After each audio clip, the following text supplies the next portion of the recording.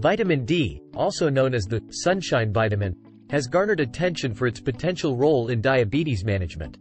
Emerging research suggests a link between vitamin D deficiency and an increased risk of developing type 2 diabetes. Vitamin D supplementation, therefore, is gaining recognition as a potentially useful tool in diabetes management. Its role in calcium absorption is known to promote bone health, but it's also thought to influence insulin sensitivity and beta cell function.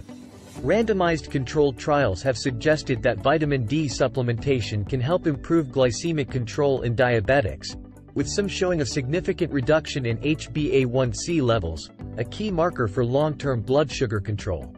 However, despite promising findings, not all studies show a benefit and larger trials are needed to establish definitive guidelines.